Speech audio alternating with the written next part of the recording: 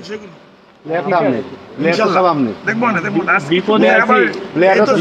এখন সারা বাংলাদেশের মাননীয় প্রধানমন্ত্রী সব জানছে। সবাই আমার কাজ করে দেওয়ার আগে আল্লাহ তাআলা আছে। বুঝতে গেছে যে দুধটা দুধ পানিটা পানি। এটা তো বলা ছিল দেখুন আমার স্টেটমেন্টে কি কইছি? যে এটা ঘটনা তো আমার তো কি কষ্ট হইতেছিল তো আমি বুঝি মানে প্রশাসনের লোকরা যেভাবে আমি তো ভাই ঘুষ খাই না ভাই। তোমরা যদি অন্য নেতা মতো আমার মনে করো যে তোমাকে যে হুজুর আমি হুজুর হুজুর তোমাকে? পুলিশের ইসে চলি আমি চলি তো আমার জনগণের প্রোটেকশন ভালোবাসে জনগণ ভোট দেবে জনগণ। আজকে যদি আমি নির্বাচিত আগের নির্বাচন বাদ দিচ্ছি আমি তো বলছি যে আমার এই দুই বছর কাজ করতে দেন ঠিক মতো। আমি কারও কাছে ভোট চাইতেও যাব না। হ্যাঁ, যদি জনগণ মনে করে সাদিক আব্দুল্লাহ আমাদের দরকার।